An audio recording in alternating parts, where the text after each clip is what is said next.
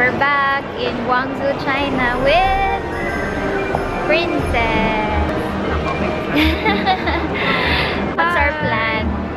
Nothing, just eat Yeah. food trip. Yeah, food trip and enjoy the weather.